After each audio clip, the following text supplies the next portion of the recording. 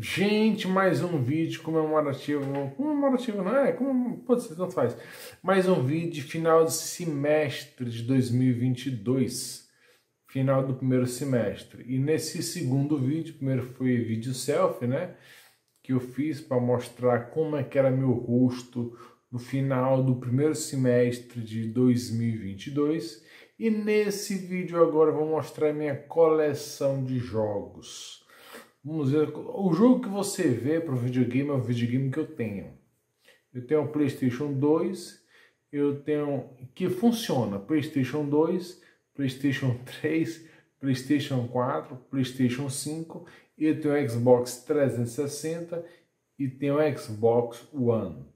E da Nintendo eu tenho o Nintendo 3DS, o portátil. Eu tenho que funciona, tô falando que funciona. O Nintendo Wii e tenho o Nintendo Switch. Pois é, vamos ver agora a minha coleção de jogos.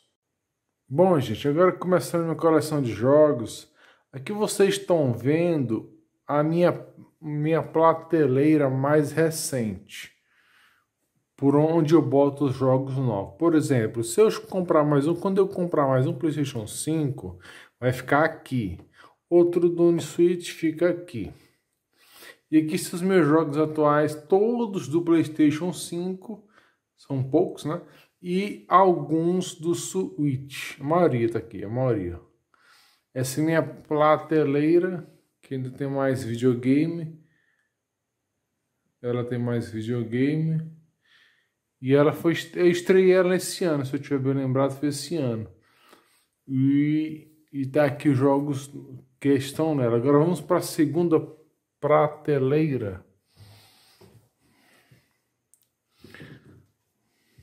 Aqui estão meus, todos os meus jogos. O restante do Switch.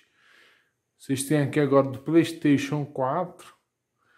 Vai abaixando. Tem o PlayStation 4 também.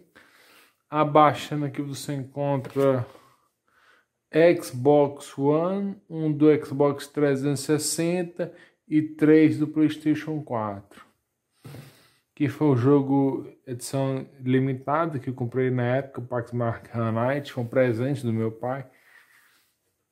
E, e aqui você encontra os jogos do Xbox 360 e Nintendo 3DS e DS, que o Nintendo 3DS joga o jogo do DS também.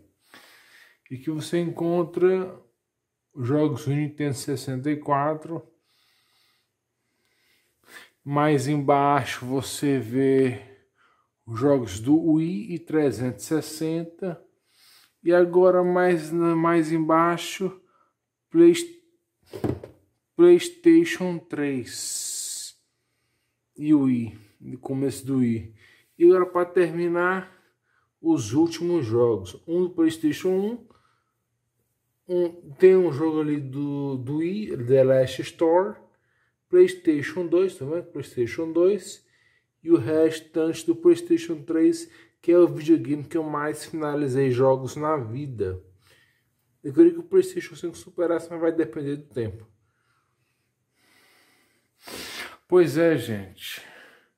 Tá aí todos os jogos.